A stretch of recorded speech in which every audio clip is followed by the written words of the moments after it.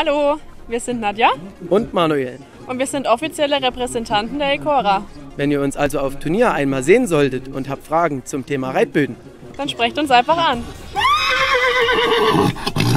Ecora, fragen Sie uns.